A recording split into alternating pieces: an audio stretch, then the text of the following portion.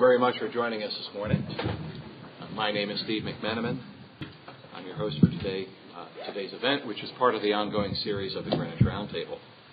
Our topic this morning, investment and economic implications of recent public policy actions, is our attempt to understand the seismic events emanating from Washington and beyond. Uh, today we'll hear from two former insiders and two highly respected experts.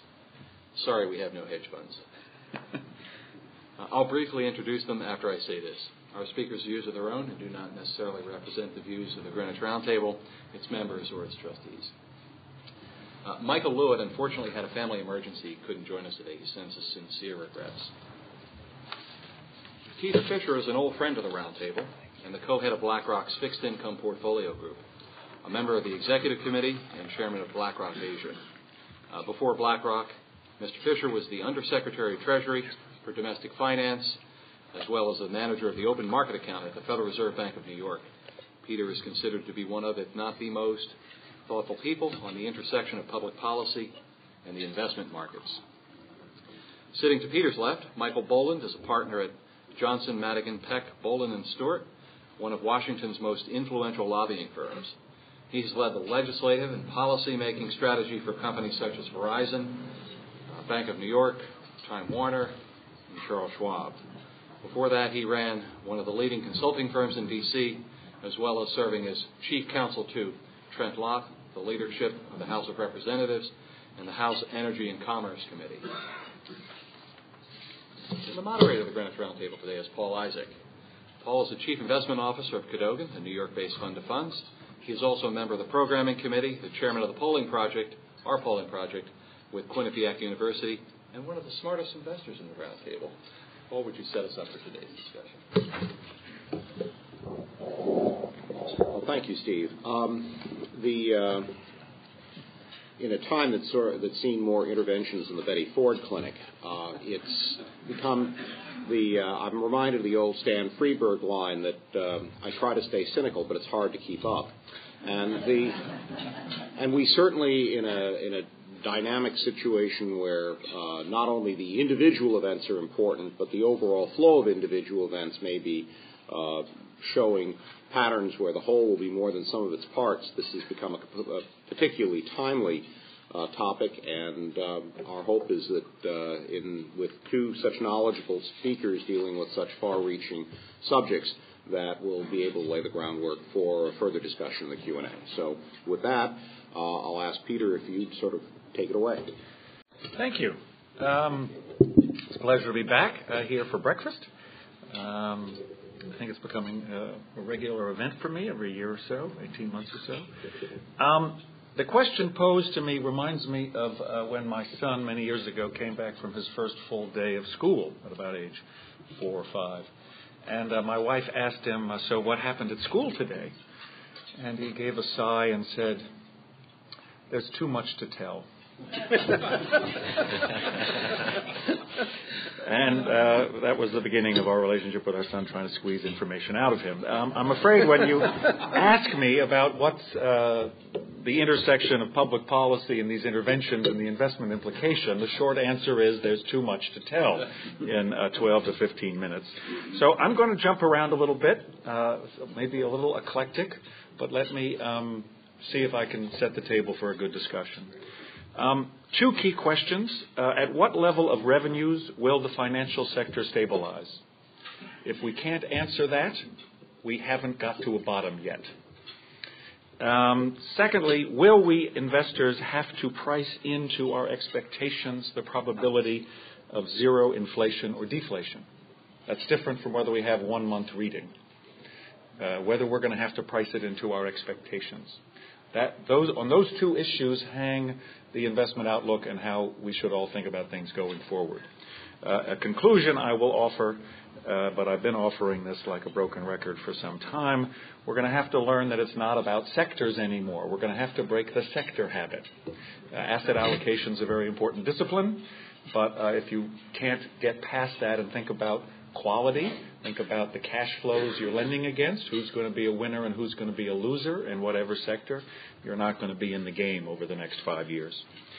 Um, that's uh, my quick summary. Next, um, I think one of the most unhelpful things are those voices who were saying this is just about fear itself, et cetera, et cetera. I wish that were so. There certainly is a loss of confidence that matters, but it doesn't just begin with some irrational piece of fear. We have a math problem. We all borrowed too much money, and most painfully, our banking system borrowed too much money. Our financial system, the intermediaries who convert our savings into investment, levered themselves up too far. And that's the math problem that is overhanging us and against which we have to think about uh, the public policy actions. And we have to get our mind around the scale of this problem. So now, the public policy reactions to uh, the events of the last 18 months come in three phases.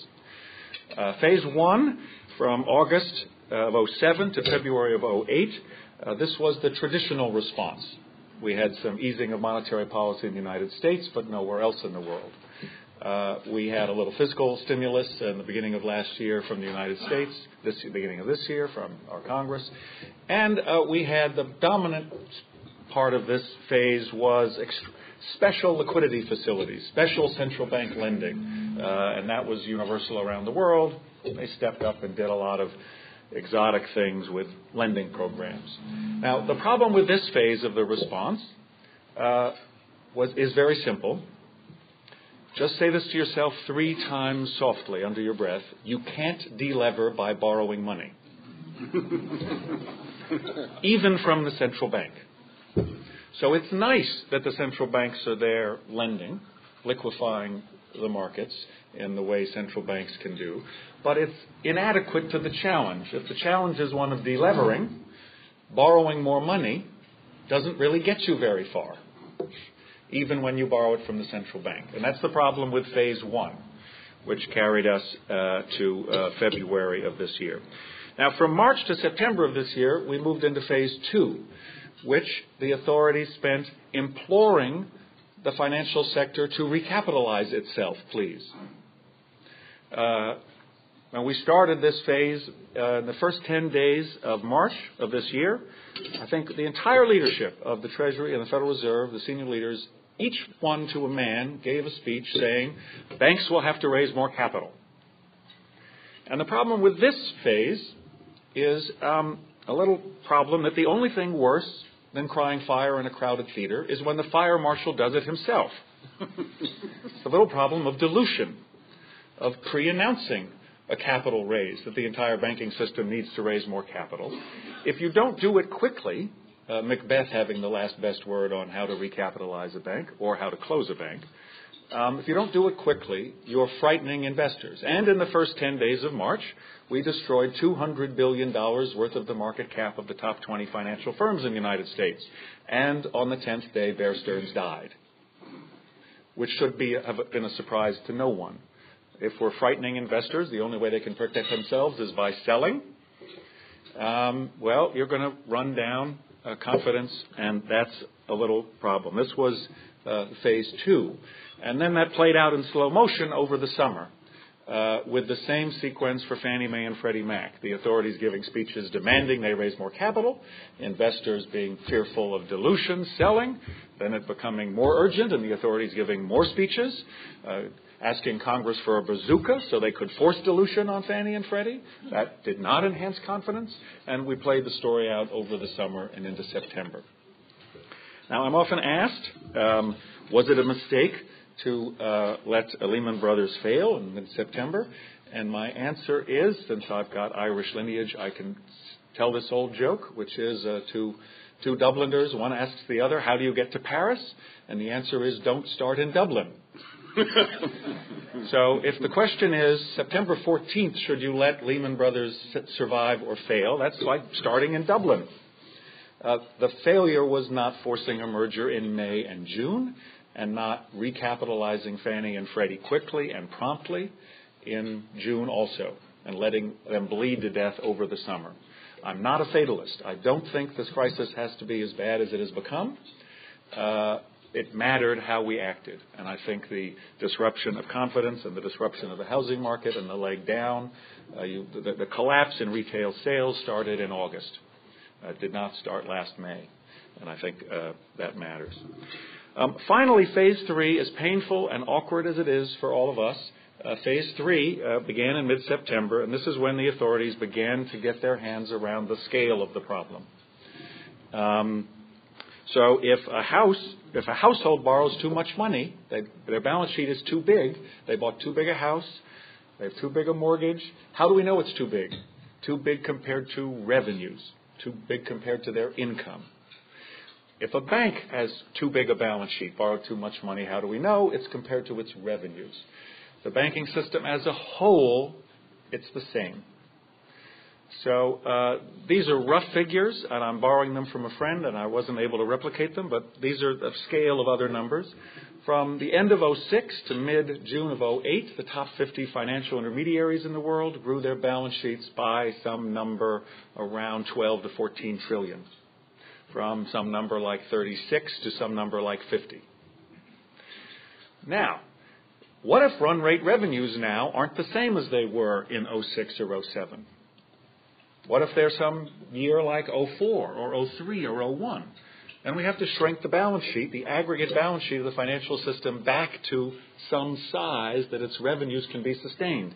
It's not about the credit quality of Mr. and Mrs. Smith's individual mortgage. It's about this balance sheet. This aggregate balance sheet's way too big. Some number like 10 trillion using data from last June or more. Um, now, there are only three things that can happen now prices can fall. Because banks can sell these assets to each other, but if the whole system's got to shrink, uh, prices have to fall or the system doesn't shrink. Uh, now, there's a little problem here. The financial system represents the collective savings of the rest of us, the household and the corporate and the farm sector. So there's nobody left but the government. So when the problem gets this big, there are only three things that can happen. Prices can fall, uh, until we get to stable revenues, a stable balance sheet to revenue relationship. Um, or the government can buy the assets, or the government can inject equity and be a more patient uh, investor that's willing to take a lower return on equity for a while than might otherwise be the case. That's it. If you come up at this macro level, you got to come up with.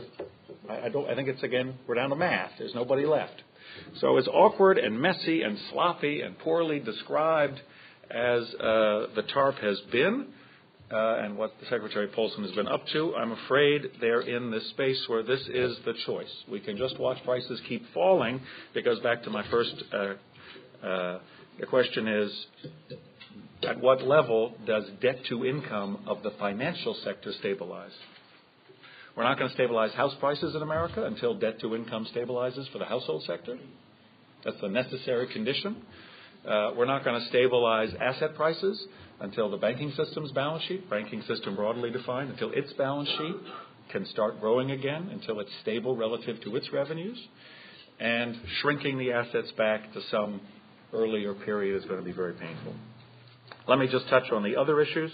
Um, um, inflation, deflation. Uh, for investors, um, you need to have an opinion today about whether you think we're going to have, see, a 5% Treasury 10 year note or a 2.5% Treasury 10 year note first. And that's going to matter. Now, I think the trick there is to figure out whether you think, as I said, we're going to have to worry about zero inflation or deflation more than just a one month observation as we had yesterday. Now, is this something we're going to have to really think about and price into our expectations? The forward inflation rate break-even curve is pricing in two years of deflation. Lots of technicals, lots of noise, a lot of people puking positions, so maybe that's part of it. There's some technicals in the way the inflation index is corrected, but forecasting two years of deflation and then a return to essentially trend rate inflation by 2011, 2012. That is Goldilocks outcome. That suggests the capacity utilization of the economy returns to full utilization by the end of 2011. That's terrific. But the little trick we're going to have is if we really have to look at an extended period of deflation, we've got to decide whether a 4% 10 year Treasury note is about the best returning asset we can find. If you've got 1% deflation and 4% nominal, you've got a 5% real return on a riskless asset. Any hedge funds want to raise their hands and say, I'm shooting for higher than 5% real risk adjusted? I don't think so. That's a fabulous return. I don't think most of us are going to sit around and watch that there for very long. However, if we're thinking, ah, that's just a passing fancy, we're not really having deflation, we're going to be right back to 3% inflation any day now, then that 4% um, 10 year note looks very different. That's going to color all the investment decisions we make. You, you, you can't not have to think about your reference rate, what the riskless rate is, and what the alternative deployment of your capital is. Um, finally, I'll just come back and echo um, what I said at the outset. Um, this is a painful recession. Uh, the government's throwing everything at candidates, and I think that's right. It's awkward. Um, we just the alternative. The question isn't whether we like all the crazy things the government's doing. The question is what Roberta Flack posed uh, 25 years ago compared to what. We don't get to compare this to 2005 we really do have to think about comparing this to some year more like 81 or more like uh, 32 or 31 if we don't get the right answer. I'll close by putting this in perspective. Um, when Paul Volcker, most of us are old enough here to have a vivid memory of this, Paul Volcker squeezed inflation out of the system. He tightened monetary policy extraordinarily uh, to crush inflation and created uh, back-to-back recessions with a minus 8% GDP quarter in 1980. The BAA spread widened about 350 basis points over three years over both those recessions. That's the credit shock the economy took from what he did. We've just widened the BAA spread by 400 basis points in one year. So that's the credit shock our real economy is taking now. Um, you can think of it also as an investment opportunity. Those are pretty wide spreads. Uh, might want to be a lender now when the banks can't be, uh, but you have to come back to winners and losers. There I am. I'm done. I don't want to start off with um, anything that doesn't do anything other than follow up on what, what Peter's just said. I'll try it this way. What's lacking right now in Washington is only leadership, ideas, and a partnership with the private sector. Outside of that, they've pretty much got it figured out. Now, let's talk about the people and the process, and then we'll get to how they see the substance and the problem. Because it starts, believe it or not, with people. The um, I think the five top players in Washington that are emerging now one of them is already a strong player. The others will follow. Are, are not Hank Paulson, despite his great skill and his round the clock hard work. The most important person right now is Barney Frank. And I'll tell you why that is. First of all, he's in a uniquely strong position. When you analyze a politician, it's, it's good to suspend your own opinion of that individual and your own opinion of his policies. Put that aside. Try to be analytical. Barney Frank is a hardworking person who has a purpose. He also has a unique amount of power. In the House of Representatives, when you're a committee chairman, particularly one that's that large, everything is about what you say. If you have two or three things you want, and you are very flexible on everything else, you can get what you want and you can kill what you don't want. And he has that much power. Additionally, he has a relationship with a very strong political speaker. Nancy Pelosi uh, is finding her way in this role. She, this is the single most powerful position in the Congress, the Speaker of the House. Can dictate the rules under which everything is debated. And he has an ability with her that whatever he wants to do, she'll use her power to help him. So if he wanted to take a bill to the House floor later today, uh, he could do that if he had her convinced that was the right thing to do. And this is putting aside, remember, whether or not you like what he's doing or if you think he's up to it. And the next person down the line, okay, is quite a bit uh, different, and that's Sheila Bair of the Federal Depository Insurance Corporation. It's a self-funding federal agency. They've taken over IndyMac. They're using IndyMac as the template for what they think every financial institution with significant mortgage holdings needs to do, which is essentially rework these loans and, if need be, one at a time. To have them take the hit on the loss of value of that security. Then you get to the next Treasury Secretary, whomever that is. And what I would predict to you that this is going to be an inversion of the usual Washington process, where nearly any cabinet official is confirmed by the Senate committee and tends as a result to favor the Senate Banking Committee and the Senate Finance Committee, the, committee, the primary committees that they deal with. Part of the reason for this, by the way, is those two committees, Senate Finance and Senate Banking, have tended to be good functioning committees going all the way back to the Carter administration. They're smaller. There's, there's still a pocket of collegiality in a Congress that has become sadly uh, divisive and isolated. You know, I've spent, I'm a native Washingtonian. My parents are both from Scranton, Pennsylvania. Your classic Irish Catholic Horatio Alger story hard work, education, the GI Bill, and, and um, my parents' five kids are all doing well because of that. That's the American dream. Right? So you come into the United States Capitol and you're working there as a young person, as I was, you start to learn how the people in the process work. And it's a very different world than it is imagined from outside of it. It is very much a little bit like a great college where the faculty are very engaged with the students. That was the Congress I joined in 1978. There are only a few pockets now on the campus, which is the United States Congress, where that level of involvement, engagement, and personal interaction are still strong enough to help people solve problems. And two of those places are the Senate Finance Committee and the Senate Banking Committee. We'll see how they change in the months ahead. I'm hopeful that that kind of collegiality will continue. Even when they fight, even when they disagree, even when there's people's motivations being challenged, it's it's for the political theater and it's from a genuine passion about an issue. It's it's not a wholesale disregard for the other person's point of view on those committees. But in that, the, the downside of that level of collegiality is that even the chairman of that committee doesn't have a dominance over the other members of that committee the way the chairman in the House of Representatives.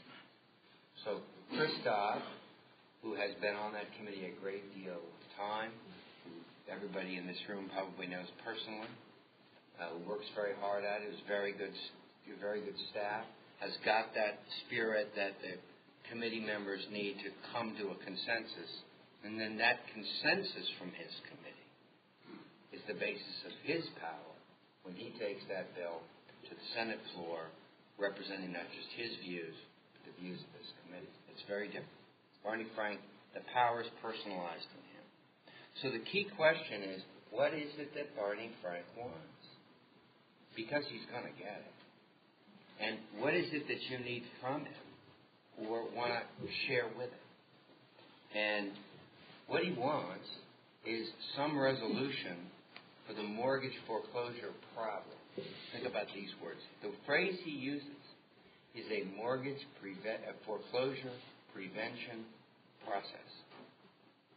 Now, if the problem began, as Peter outlined, and, and I think everyone, probably most, would agree, with too many people with insufficient income borrowing too much too easily at a temporarily reduced rate, therefore they have more house than they can afford on their income how is having a, pro- a process to prevent the foreclosure to get that person out of that asset going to solve the problem they cause?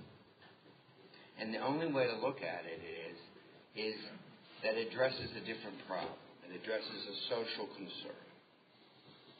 And you have to figure out what is it that you can do short of a complete prevention of foreclosure And that's where Sheila Bair's working relationship with Barney Frank is instructive. She took over IndyMac. She's using that as a template. She suggested that the Citi and Chase and the Bank of America, Barney Frank was cajoling the CEOs of those three financial institutions to follow the Indy Bank example. They began doing that. These are very sophisticated banks. Surely they're aware that one of the things they get out of this is some kind of better working relationship with this very powerful person. Now, I can't tell you that that is economically sensible or that it will result in some ultimate solution to this problem. But what I can tell you is that courting people who have political power, who can help solve your problem, or who can listen to your idea about how to solve a global problem, is a necessary part of the give and take of the human interaction. And that is very important in a political. And if Barney Frank gets the one thing he wants, and as a strong chairman is capable of being flexible on the balance, then that means that you're in the balance. And that one thing I would suggest to you is that uh, either individually or perhaps as a group, you try and figure out what are the three things that policymakers in Washington don't know that they should know, that you know. And then you have to ask if you were to take that message to somewhere in Washington, where would you go? That if they were convinced by you, it would make a material difference in how they steered this vote.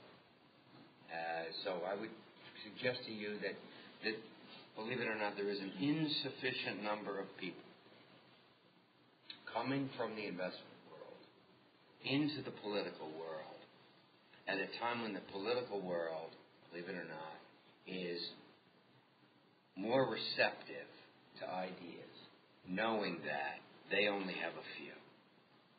And if you look at the mortgage market as a relatively small piece of the global financial world, solve that problem for them, and they're less likely to victimize the other elements of the financial world, which they don't know that much about. Now, there's a little bit of this going on right now, this, this knee jerk notion that when there's a large problem threatening the general public and they don't have a ready solution for it, the political response has been to get very prosecutorial, to pick out a villain and to pummel them, to then use that person or that industry. and there are a number of contenders for which subset of the financial industry is going to be most victimized. And one of them, of course, is the hedge fund industry. Because it seems to be large, and as you've heard a million times, they say you're unregulated. They say you're not transparent. They say you're up to something. And this this political this this spirit of ill will, combined with a lack of knowledge, combined with a fear that there's some bigger problem, combined with their own personal need, whether it should be there or not, it is real. To have a response when their voters come up to them and say, "What are you doing about the problem?" If they say, "Well, I'm, I've got the magic plan. I'm going to solve the problem. This will all be better by Tuesday," no one would believe them. If instead they change the subject and say, I've got my hands on the throat of the guy that's caused this problem and him in jail. They've changed the subject. They've made that voter think, aha, my person's onto this. And, and sometimes that's all they're looking. So, what is transparency to you? Because the political system wants to now regulate the hedge fund industry the first word they use is an increase in transparency. To whom? Well, to the regulator? To the general public? To, to there, there, there's all sorts of groups already formed uh, that are working very hard to try to get ahead of this process, have it fill in some of these blinds. And all I would say is encourage you to get involved in whichever group your firms are already a member of. If you find some inadequacies, there's no harm in starting your own. Don't forget to coordinate with people. There is a real dire need in Washington and a greater receptivity to it than you might at first think. So, uh, sort of fill in the blank with who's number five on my top five sort of power personalities. Barney Frank, Sheila Bair, whomever is the next Treasury Secretary, Chris Dodd, and fifth is Chuck Schumer.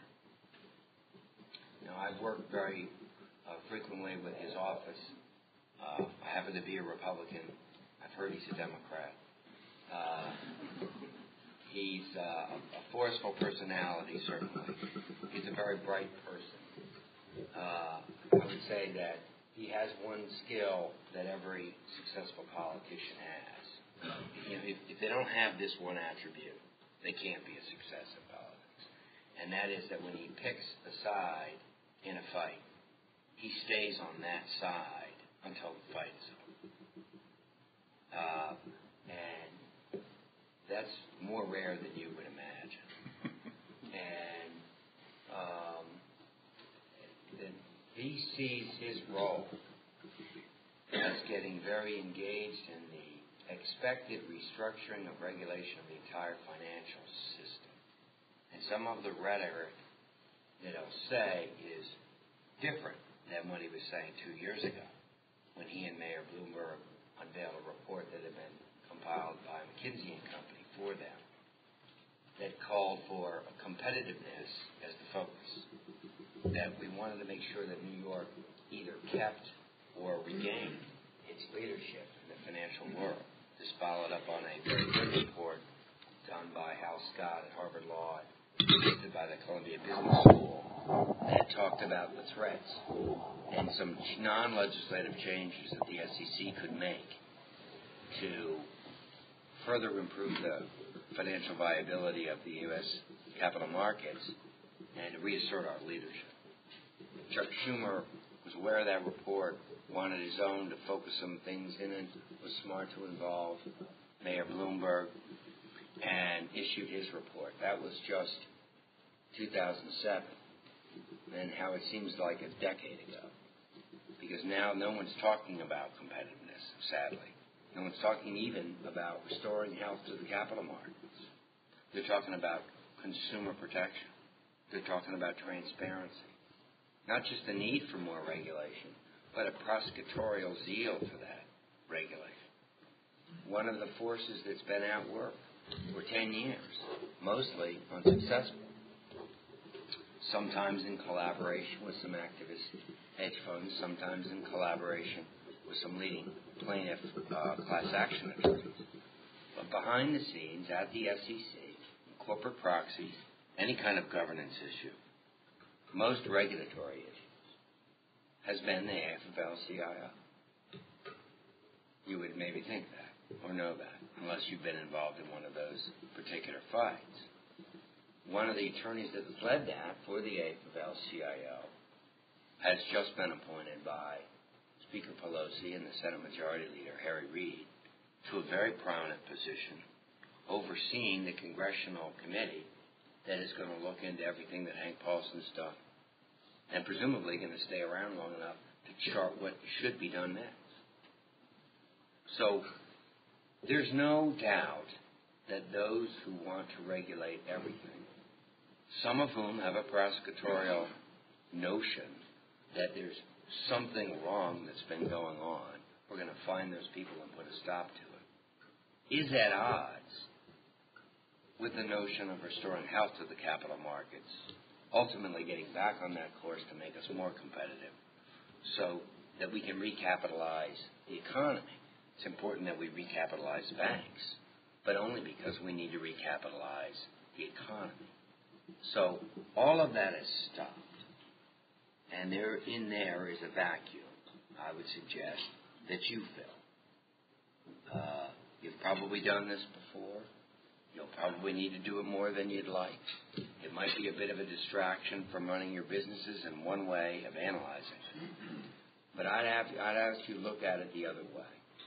There is a prospect that Barney Frank, Chris Dodd, Chuck Schumer, Sheila Bair, and the next Treasury Secretary really are going to take a new piece of blueprint and write a new charter for the financial industry. They will call it a restructuring of the regulatory process. Uh, But it's not that. It's more than that. It is a restructuring of your lives, of your businesses, of the capital markets. Who wins, who loses, who's a villain, who gets rewarded. And these things can seem at times maddening or purposeless or impossible. Uh, but it will become better with your involvement. So with that, I'll, uh, I'll end it up. Well, on that cheery note, Thank you for being gloomier than I was. the um, I, I'd like to start it off with a question that kind of you could take from your respective angles, which are quite different. You get the impression of, as an outsider, that one of the problems, particularly in a fast-moving period like this, is that it's difficult for policymakers to to see where the puck is going, as opposed to trying to skate to where the puck is now. How, Peter, do you would you rate the process of the uh, executive in terms of being able to anticipate events and head them off? And do you think that that is a, a structural problem or a problem that people will remedy as they become more familiar with the process? And Michael, in, from your point of view, in a situation as fluid as this, is the legislative branch really going to be able to deal with this kind of issue, or at the at the end of the day, will they relegate it to to the executive and deal with uh, some kind of an overarching framework, uh, perhaps with a view of, of trying to correct the, uh, the whatever they see as the deficiencies in the past? Um, it's um, uh, going to be very tough, even for a, terrifically staffed Obama administration. Let's let's spot them that they're going to be a lot of smart people. They're going to have thought about their their, their responsibilities well. It is really hard to um, uh, stay ahead. I mean, to try to be ahead where the puck is. Um, I um, uh, so th- they're always going to struggle with that. No matter how good, no matter how smart, no matter how close to the puck they're getting in your metaphor, it's it's a challenge. Um, a friend once asked me what was the difference between working at the Fed and working at the Treasury, uh, and the Fed being insulated from Congress a little more than uh, than the Treasury. And I, I had to think because this person didn't work in finance or government. I said, well, working at the Fed's like um, playing Major League Baseball. There's some great athletes here, but it's bursts of athleticism, but mostly it's kind of a stately rhythm and a slow pace. Working at the Treasury and with Congress is like playing playground basketball. There are no timeouts, there are no substitutes, there are no umpires. And after a while, it feels like no one's even actually keeping score anymore. You're just going back and forth. Um, so it's pretty hard uh, to um, win that fight. Let me digress a little because I think uh, I want to echo what Michael was saying in, in, in, a different way and anticipate. I mean, I think that. Um, the challenge that administration can grapple with, not in the details, uh, but is I don't mean this literally, but at the level of metaphor, what's the metaphor? What, what, what's the impulse that's going to animate the financial reform? And I look back on the failures of Sarbanes-Oxley, and I feel this rather acutely. I share my, my, sense, my sense of blame, having been Undersecretary of Domestic Finance at the time. Um, you know, you won't find it anywhere in the bill. You can't actually find this term. But what Sarbanes-Oxley did was say, well, corporate governance is a problem. Let's empower the second guessers. You know, let's empower the independent directors. Let's empower the auditors and the accountants, all the second guessers, and that's going to make it better. Um, and I think at the level of metaphor, kind of communicating what needs to happen at Blueprint, I urge you, as I think Michael was, that I think informing, acknowledging uh, to take a different metaphor, there have been some spectacular car wrecks in our financial system. We have a financial system. There are a lot of spectacular car wrecks and blazes.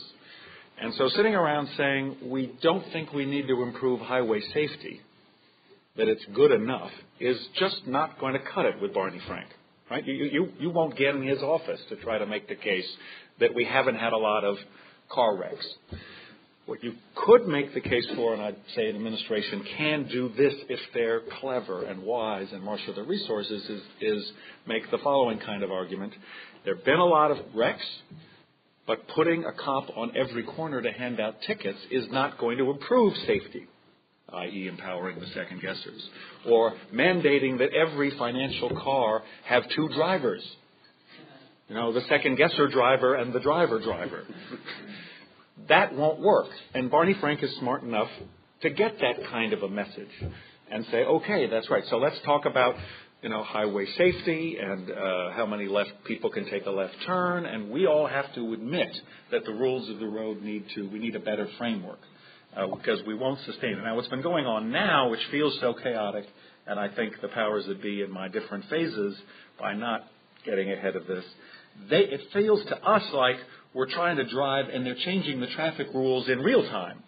You must turn left from this lane. No, you can't turn left from this lane. And that's chaotic for us and been destroying investor confidence and destroying the capital structure of our financial system. So, but an administration can set the framework. It's pretty hard to out-argue the staff of the Senate Banking Committee on the fourth subparagraph. They're going to control that one. Um, so those are, that's my reaction. Okay, well, keying off the traffic metaphor, uh, about 10 years ago, uh, someone in the Maryland Department of Transportation thought it would be a good idea to show the federal government what would happen if they rigorously enforced the 55 mile an hour speed limit between Washington and Baltimore, as they had been doing, threatening to cut off some federal aid because Maryland, like most states, was not dedicating, in the, in, in the view of the feds, enough police power to this important task. So they took six police cars and drove abreast in each of the six lanes at 55 miles an hour. In two hours, traffic was backed up below Richmond. you cannot run this country and abide by the speed limits. Okay? Um, and all I want is my own lane. I'm willing to let you use it when I'm not. When I'm coming, remember whose lane it is. this problem wouldn't exist if you'd get around somewhere else. A um, couple things. Let's just use Sarbanes Oxley a little bit. There was the Oxley part of the bill, and there was the Sarbanes part of the bill. And then all hell broke loose when WorldCom collapsed. And the Sarbanes part of the bill was on the Senate floor. And that's when it got crazy. And to show you, nobody steal this, by the way. The title of my book is Arresting the Innocent.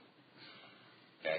Whatever it is, the way these things work out is the winnings go to the people who are involved in the process. They do not go to the people who should get them.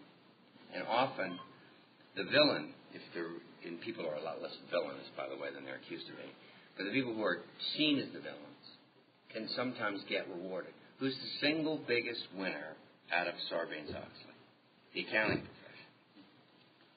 What was the origin of the problem at all of these at, at all of Enron and WorldCom? And why was it that they were any really different other than scale from the problems at Parmalat or 8 million other uh, companies that any short could identify quickly? It was the timing. It was it was also useful in political theater. And it was the particular brazen nature of the CEO and the CFO of WorldCom that coupled on what had been perceived as the brazen activities of the senior leadership of Enron. So, had they been unknown companies, had they been uh, the different personalities at the helm, uh, they might have escaped becoming such huge um, provocations to the political system that they would write a law so sweeping that, think about it, affects all the other companies and not them because they're dead and their people are on the way to going to jail. So you're imposing a law on the innocent. And you're imposing a new level of exactitude and cost, which, either in a minor way, according to some analysis, or in a major way, according to others, is an inhibition on being a public company in the United States. If you can be a privately owned company not subjected to these laws, meaning outside the United States, you're arguably better off. And that's not a good thing as a federal policy decision making uh, outcome. So, what you want here is a better process and a better result than that. And you only get better process by letting these people talk to each other. Now, a little word here about another often assaulted uh, occupation, which is lobbyist. We had a presidential election. Senator Obama won it handily. Uh, big sweep. No doubt that it's a mandate. It's a very large Democratic majority in the House and in the Senate, and they have every intent of making every use of that. Now, both Senator McCain and Senator Obama, in different ways, attacked the notion of lobbyists. And I once asked one of Senator McCain's uh, close friends, also a senator, what explains his ability at any moment to have a stray attack on the pharmaceutical companies. If you remember the debate with Mitt Romney, Mitt Romney made a fairly innocent, favorable remark about innovations in the pharmaceutical industry. And what did Senator McCain say? Does anybody remember? Pharmaceutical companies are evil.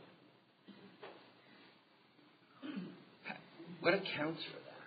I'm not, I'm not wanting to debate whether they are or not. I happen to believe they're. How can you be evil when your entire objective is to cure some disease or treat some ailment? But this is his notion. He said, We've got to remember that the only thing he's really ever been trained to do is to be a fighter pilot. So a bogey moves into his peripheral vision does his computer doesn't tell him it's a friendly, he shoots it down. so that helped me more than anything else. It made me realize that uh, that's not a good skill for a president to have. Uh, because everything, you're not going to find a lot of utility for that. Uh, moreover, your impulse, is everything comes at you from your peripheral vision. The only thing that we can say for certain for the next four years is that none of the issues they campaigned on will come up. there will be nothing that will come at them and say, Mr. President, we've got a big one for you, but it's easy, it's all fixed, can you sign here? That will not happen. So, so, so they can't agree on the problem. They can agree that we're going to have a lot of regulation. They're going to be listening to a lot of people. The people who point the finger at the concept of business, at the concept of private capital, are sitting next to or in the chairs of power. Now, that should cause you to be involved yourselves. One of the first hearings that Barney Frank did uh, when he became chairman of the House Financial Services Committee was have a hearing on private equity. And I have one of my clients happens to be the private equity Council. So we worked hard to get the right witnesses. We ended up with the CEO of Dunkin' Donuts, who did a spectacularly good job. Great story to tell, but more importantly, he told it well. Very much about saving a company, uh, an iconic company, certainly in this region of the country. And also at the table was Andy Stern. And he is one of the most important figures in political life. And his, his, his union, the Service Employees International Union, who's reported to have spent $250 billion, million dollars to elect Democrats and, and Senator Obama president. And he's this smart and purposeful man. He's got a $20 million, that's an estimate, public campaign against the private equity world and against Henry Kravis and Carlyle in particular. And he wants something. And what he wants um, is more control over what private equity does and how it's rewarded, how it's taxed, how it's regulated. And people like this are involving themselves in a way, in a magnitude that no one in this room uh, could or would do. But I, I would say that wherever you see this debate, however, however you line up, uh, to get personally involved because it can only get better. And you, I will tell you, they, you will get a better reception if you are prepared than, than you might imagine, and you will make the outcome better. I'll throw it open to questions from the floor, of which I'm sure there will be many.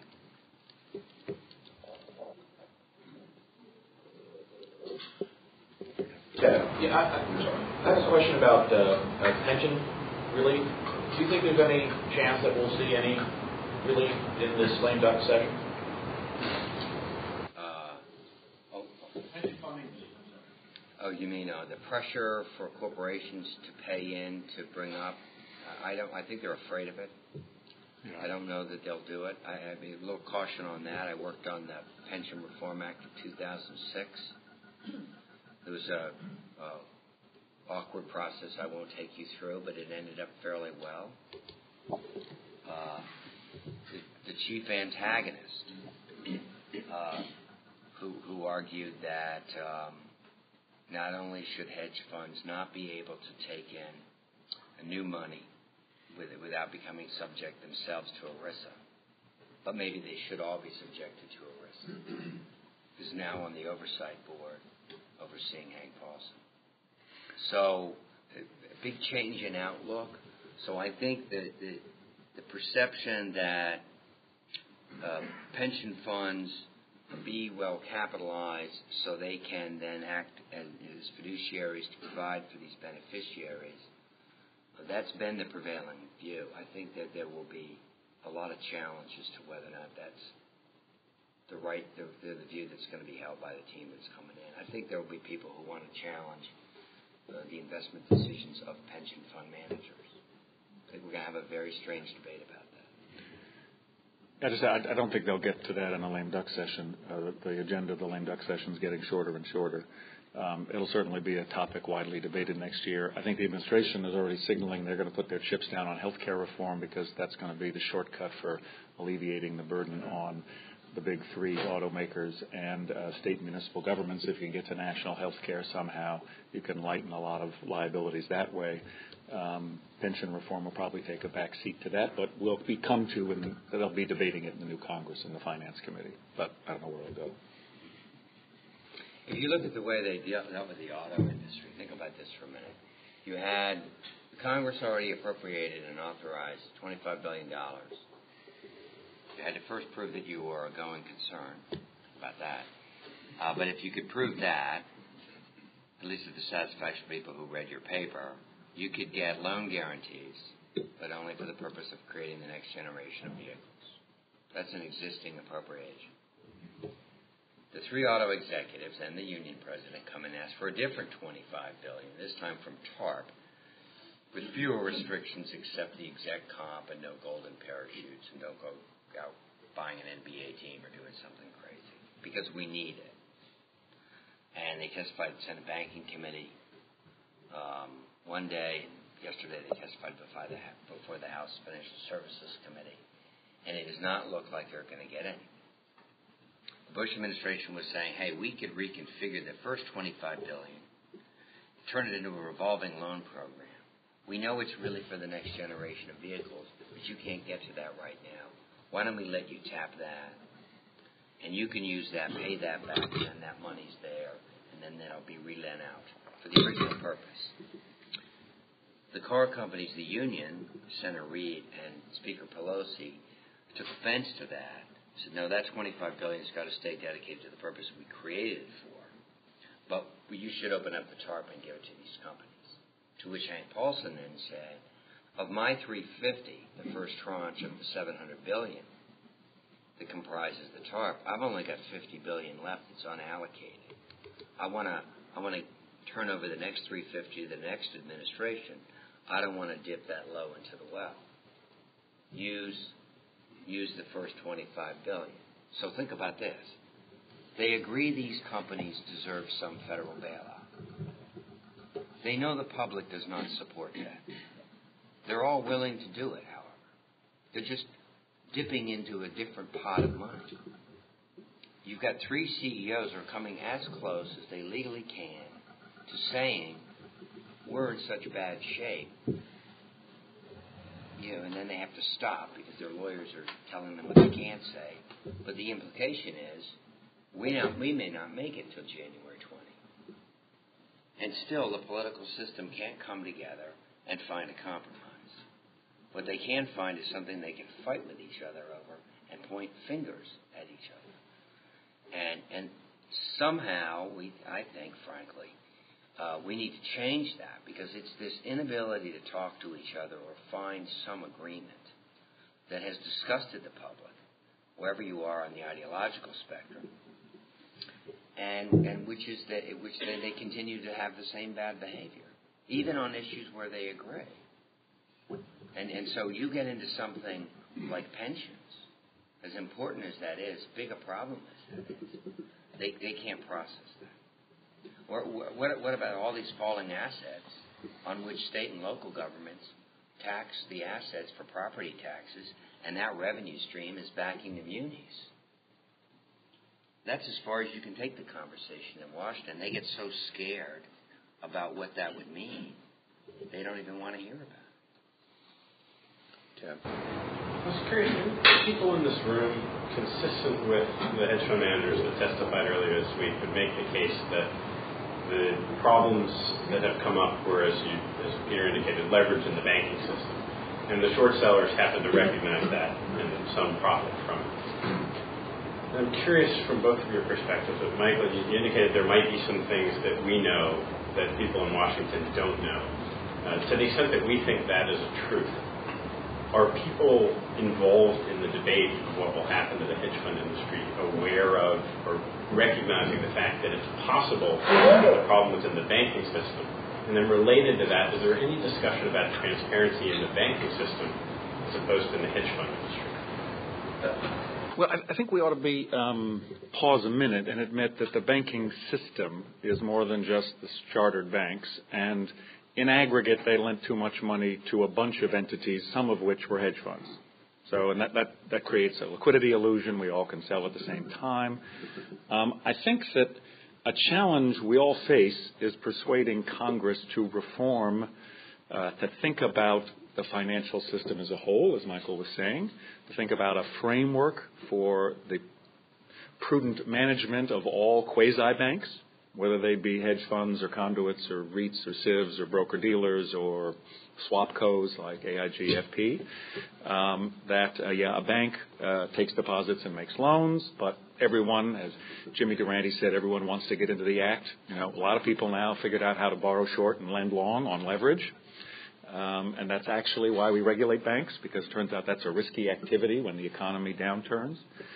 Um, so I think if if we can step back, uh, I would urge you all to think about how to make the case to Congress, as, as Michael's been suggesting, that there is a framework for supervising quasi banks, hedge funds or some, REITs or some. Um, it's not that complicated. It's like how you regulate a bank, but we don't want it to be just the same. That would be counterproductive. You can have, um, there's the riskiness of the assets, how long durated they are and how risky they are, how volatile they are. Uh, there's your liquidity, your redemption schedule. And um, then there's capital. And a money market mutual fund is a quasi bank. Maybe it should have 0.0% capital to avoid the problem of breaking the buck. We could think about that kind of framework. Hedge funds over the last 10, 15 years have evolved to a much more disciplined set of redemption rules than we used to have. Um, that's like, remember your passbook savings account used to say when your parents opened one for you, it said you could only withdraw so much on any one day. It's just like a hedge fund uh, that has a disciplined redemption schedule. So there's a framework, and it's got to apply to all those animals. It could be self It can come in different forms, but the banking system is going to have to figure out how not to just lend money to everybody and think it can make money, you know, make it up on volume when they lever themselves up too far. So we've taken um, some of the most storied names in investment banking and turned them into bank holding company, and we did that defensively. Now, how are we going to recapitalize this country with a bunch of utilities? Because that's what they are. You're a bank holding company, you're a utility. And the reason you're not lending is who are you going to lend to? Because you're looking at that earnings stream That's your security that your loan will be repaid and your interest will be paid to you.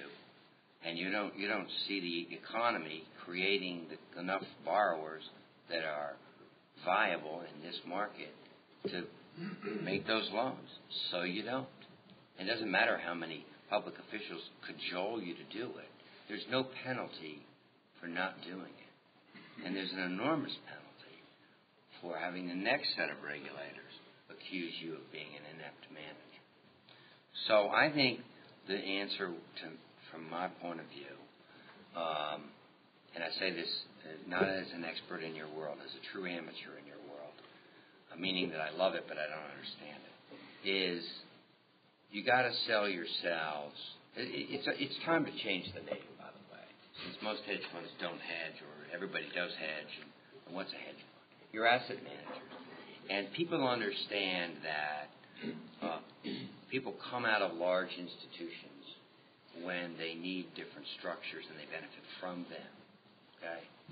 It's not unlike myself and my 20 partners. You know, a generation ago we would have all been in a very sizable law firm, but there's simply too much cost to it, and uh, there's no benefit to that. There's no cross selling that goes on. So why do that? So you go out and start your own thing, and you end up serving yourselves and your clients better. So, so, so, so make them understand that there's a value to your clients and ultimately the economy and the way you're structured and what is it that you do for others? Start off with that. And then get into, you know, if you can, see your way to supporting what powerful people want, that they want for social reasons, which they're also going to get anyway. I mean, I don't know that we should have an ideological battle about rewriting individual mortgages as if that's some grave sin we shouldn't make.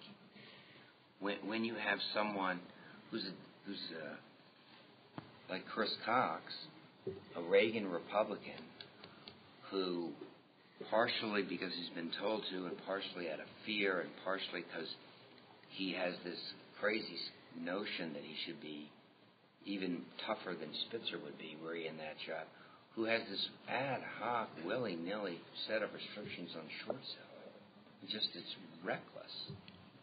Uh, and you know, one day the rule is this, and then you think it's not going to be extended, and then then it gets extended to 799 banks, and suddenly it grows over that, and then what was the process there? The government is the only institution where people aren't saying be more transparent.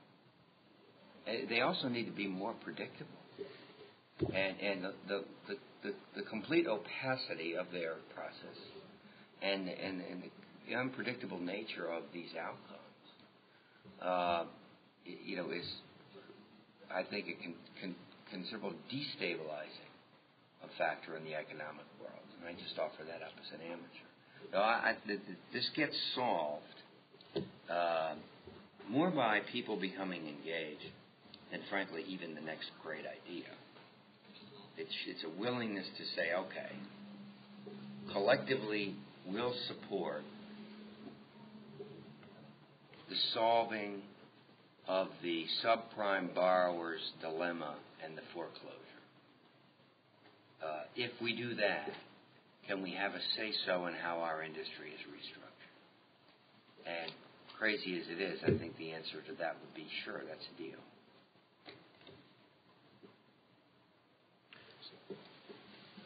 I'm interested in what Peter's expectations are when managing fixed income portfolios for inflation slash deflation are today.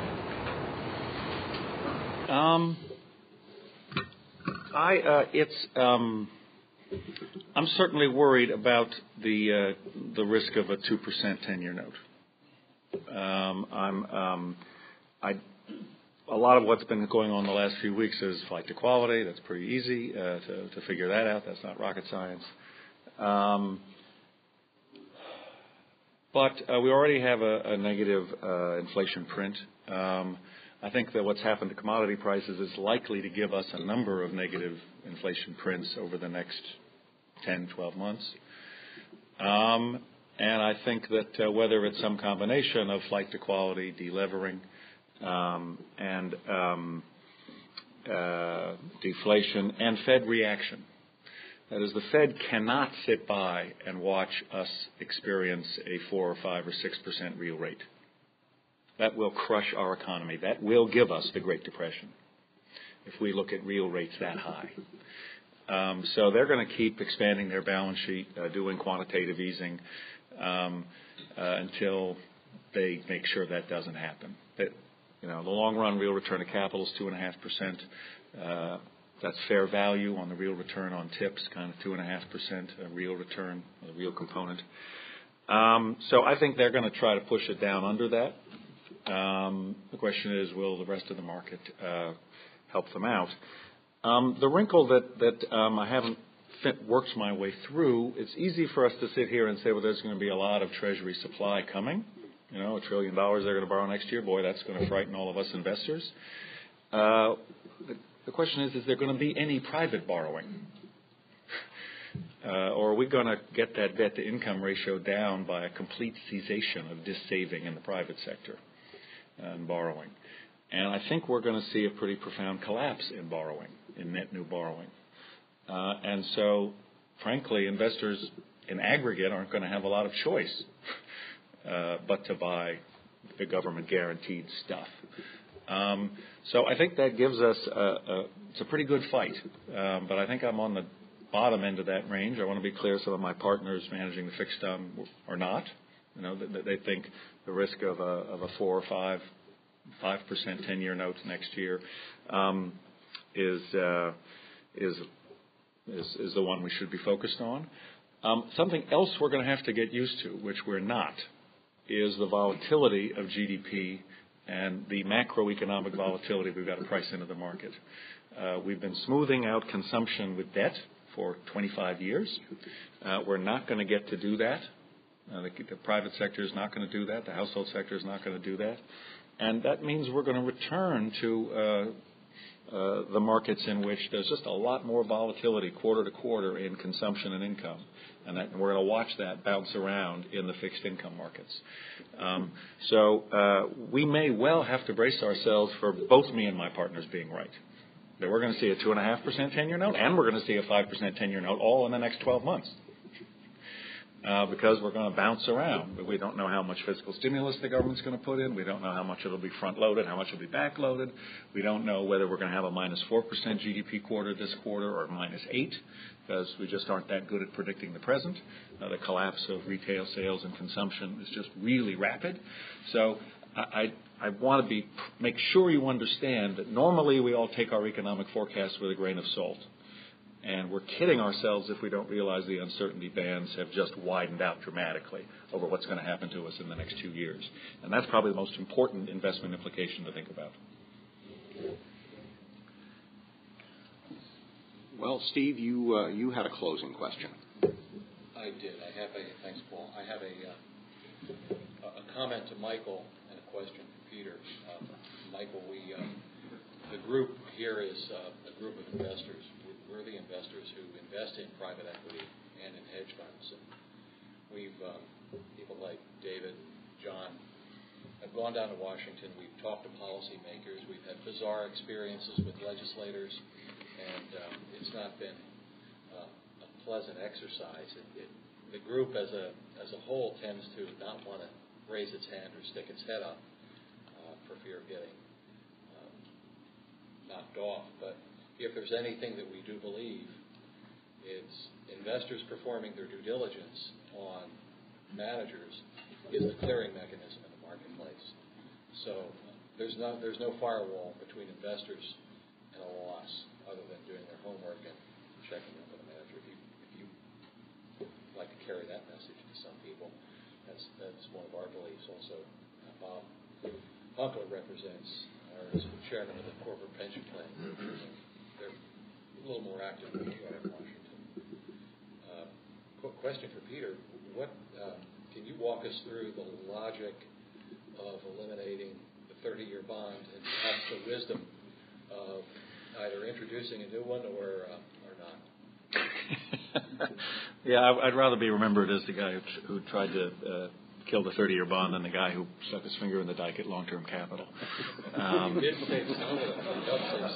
um, uh, it's pretty simple. What, what, what I learned was um, government work is not finesse work. It's not surgery. It's rugby. Um, and you'd better plan on staying for eight years if you want to do finesse work.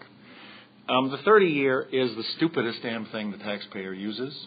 Um, if you're going to lend money to your brother for 30 years and he tells you he doesn't want to pay you principal back until the end, you kind of charge him a different interest rate than if he's going to pay you principal back over time.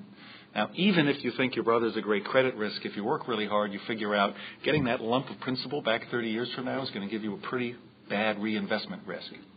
Right? You're not going to know what kind of investment environment is that 30 years from now. So the raw deal the taxpayer gets is that the uncertainty premium at the 30-year point is about the highest you can imagine. If a, I'm happy to have the federal government borrow perpetuities. 100-year bond, as long as we pay down principal evenly over the 100 years or over the back 50 years, would be terrific. But the 30-year bond is just an archaic stupidity that the Treasury came up with when they threw spaghetti against the wall in the early 70s and came up with every instrument under the sun. And the reason the street loves it is because they strip the IO and the PO and they get to trade the volatility on the principal only. And, and that overprices the interest only strip. So it's not about not liking long term borrowing. It's about that instrument is flawed and really expensive from the taxpayer's point of view, and it's silly for the taxpayer uh, to take out that premium on the lump uh, that's going to come back to the investor 30 years hence, and we could have a lot smarter instruments. I argued for a long time with the lawyers. I said, please let me issue perpetuities. Let me. That would be terrific. Uh, let me sell annuities. Let's replace savings bond with annuities for the American people. So a smart uh, instrument. Um, there are all kinds of things the government can do to get a long durated asset out there. Um, but let's be clear, it's not about feeding the hedge funds when you're looking at it from the taxpayer's point of view, not about trading the vol on the PO. Is that, that a succinct enough answer? It's on the record, too. Well, I'd like to thank the uh, our panelists for a, I think, illuminating and, and candid uh, discussion this morning. I think everybody comes away from it both understanding the process better than we did coming in. And uh, with any, I'll hand it back to Steve for any closing words. Thanks, Paul. thank you very much for for making it here today. And I want to uh, thank David Cottrell and his colleagues at the Citi Private Bank for again underwriting these really great think sessions, high level discussions. Oh, hello, David. I didn't see you there. Sorry. And um, now we, we're really very, very grateful for your giving us the blank check to do this sort of thing. Um, we don't have much to say today, other than that we're about to introduce the uh, Quinnipiac survey very soon. Keep your eyes on the um, on your mail. And um, secondly, we'll meet back here on December 11th uh, to talk. Our topic will be um, long term investing, how I learned to stop worrying and ignore volatility. so we'll see you here on December 11th. Thank you very much, Paul, for putting this together.